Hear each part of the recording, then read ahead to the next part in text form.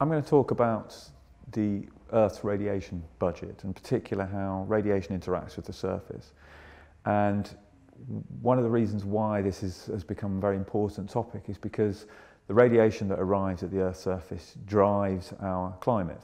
So understanding how much radiation arrives at the surface, what the nature of that is, obviously we're talking about radiation arriving from the sun, coming through the atmosphere and interacting with the surface. So that's the, the oceans, uh, the atmosphere, obviously that's not part of the surface, but the, the, the, uh, the atmosphere captures radiation and moves it around, and then the interactions with the surface part, in particular the vegetation, so forests, crops, um, the stuff that drives pretty much all life on Earth and all the resources that we rely on for food and for shelter, uh, and obviously longer term looking back, that solar interaction with the, the surface has provided us with resources like um, fossil fuel resources.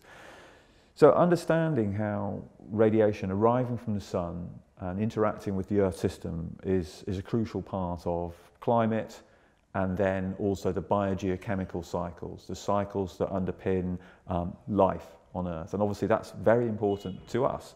We are part of that life on Earth and as we all know we're having um, a significant impact on that through all sorts of things, through fossil fuel emissions, through land use change, through intensive agriculture. Um, so all of those things link back to understanding how much light arrives at the surface and what the properties of that light uh, is and how it interacts. So radiation coming from the sun, the surface of the sun is at around 6,000 degrees Kelvin and it emits radiation across the ultraviolet into the visible part of the spectrum, into the shortwave infrared, and then the thermal infrared part of the spectrum, and to, to longer wavelengths. Now, we, this is a, a spectrum, so that means it's a continuous distribution of radiation coming from the sun. Um, that distribution is described by what we call a, um, a black body energy distribution. So theoretically, what that means is we consider the sun to be a, uh, a black body. So it means that all the radiation that falls upon a black body is, is perfectly absorbed and then perfectly re-emitted. And the reason why we, um, we use that approximation is it, it, because it allows us essentially to calculate the amount of energy that's being emitted in this, in this distribution at every different wavelength along this, this spectrum.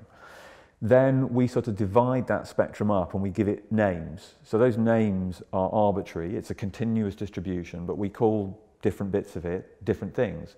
So if we focus on one very important bit of it to us, that bit we call the visible. Uh, that's the reason why we call it the visible is because we can see it. So our eyes are sensitive to a very, very narrow part of the spectrum. So if we consider radiation coming from the sun to be distributed from um, about 0.3, 0.2 microns, a millionth of a meter, to uh, many centimeter wavelengths. So that spans orders of magnitude, many orders of magnitude. Our eyes are sensitive to a tiny, tiny part of that, from about 0.4 to about 0.7 microns. So it's a tiny fraction of this, this overall spectrum, but it's the bit that we're sensitive to. And one question that um, you ought to be asking yourself is, why are we sensitive to that bit of the spectrum. Um, you know, why is it so important to us? Why have we evolved eye systems that are very sensitive to this tiny part of the spectrum? And it's not just us. So photosynthesis is also driven by this tiny fraction of radiation in this very, very long spectrum. Um, so why? Why just, just this part of the spectrum? And the reason is, is that when we look at this energy distribution, uh, it's described by something called the Planck function, uh, and this energy distribution from the sun has a very, very sharp peak. So it's a kind of, it's a distribution that looks like this. It has this extraordinarily sharp peak and then it drops off. That peak, not coincidentally, is right in the visible part of the spectrum. So the peak of the solar radiation is at this very, very narrow range of wavelengths.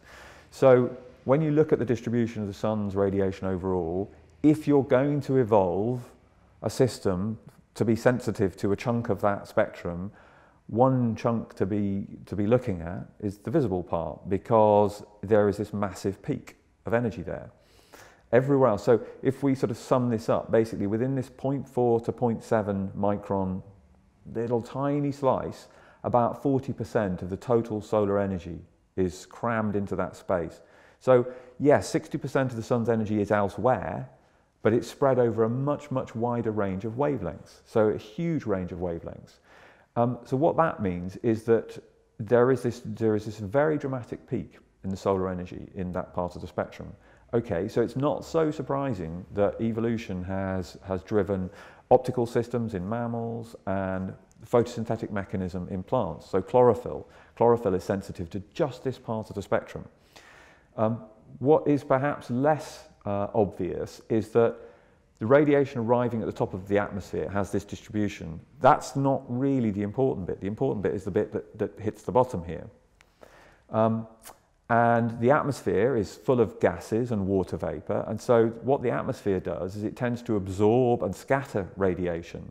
That absorption is, is crucial for a couple of reasons. One of the reasons is that the absorption of it keeps the, the, the radiation, the warmth, so the, the sunlight that passes through heats up the surface, some of it's absorbed. That heat radiation is then re-emitted at long wave parts of the spectrum and the atmosphere acts like a blanket, keeping that in. That's the greenhouse effect. Without that greenhouse effect, that radiation would escape and the Earth's surface would be completely frozen. So the thing is, how much radiation gets through the atmosphere? What happens to it on the way down? So sunlight can interact with clouds, it can, so water vapor, it can interact with uh, other gases, oxygen, ozone, carbon dioxide, carbon monoxide, methane, and various other species, and dust and soot as well. The crucial thing is though, so how much of that radiation gets through depends on what the atmosphere is made of. And there are parts of the spectrum that what we call atmospheric windows. And what that means is the atmosphere is largely transparent to radiation coming through at those wavelengths. There are large parts of the, the, the sun's wavelength that arrive, the, the spectrum, that arrive at the top of the atmosphere that don't get through because it, it's absorbed by gases and water vapor in the atmosphere. So it just turns out that there's a really narrow window in the spectrum right around where the peak of the sun's radiation is. So fortunate for two reasons. The sun's radiation peaks at 0.4 to 0.7 microns, and at 0.4 to 0.7 microns, there's a hole in the atmosphere which allows that radiation through to hit the surface, to be absorbed by plants, to warm up the surface, to evaporate water, and to heat the bottom of the atmosphere and drive our whole climate. So this combination of the peak in the sun's radiation, the atmospheric window then determines what we see here at the bottom of the atmosphere. So when we look out the window on a sunny day uh, and we see the, the sky is, is blue or it's cloudy, that radiation has to have got through the atmosphere. So anything that's going to evolve to survive on the Earth's surface has to be sensitive to those things. You go very slightly shorter wavelengths to the ultraviolet, so things that our eyes are not sensitive to, uh, but ultraviolet radiation, shorter wavelengths, so it has higher energy, that radiation is potentially very damaging. So we know it's very damaging to the tissues of plants and animals. It's what gives us skin cancer. So you only need to shift just to shorter wavelengths from the visible and you get to the ultraviolet. And what protects us there is the ozone in the atmosphere. That absorbs most of the ultraviolet radiation coming from the sun. Or it did until we realized that the CFCs, the chlorofluorocarbons that we were putting in the atmosphere, was generating an ozone hole. It was decomposing the ozone and allowing more UV radiation through. So the composition of the atmosphere, the distribution of the sun's radiation, uh, determines entirely what we see here at the bottom of the atmosphere. So then the question is, what happens to the radiation at the surface? And there are a number of things that can happen. The sunlight can interact with the surface and be absorbed. If it's absorbed, then the radiation is, uh, warms things up. If it warms things up, it, those things give off that radiation as heat energy, and that changes the, the, the heat balance of the surface, it changes the heat balance of the atmosphere. The other thing that can happen is that that radiation can be reflected.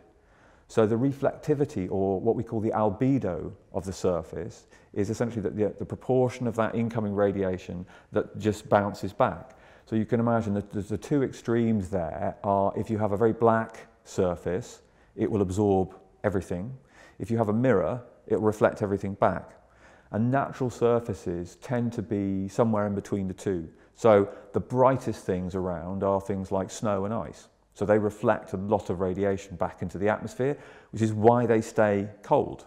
The fact that they're so white prevents them from heating up. Whereas things, surfaces that are dark, so vegetation is one of those surfaces. So vegetation that is dark absorbs a lot of radiation. It uses it for photosynthesis, but it also heats up. So this balance between um, the albedo of, of bright and dark surfaces and the, the types of surface there are has this intimate link with incoming solar radiation, heating up the atmosphere, and then the drivers of our climate more generally, as well as the biogeochemical cycles, the life cycle part of the, of the Earth system.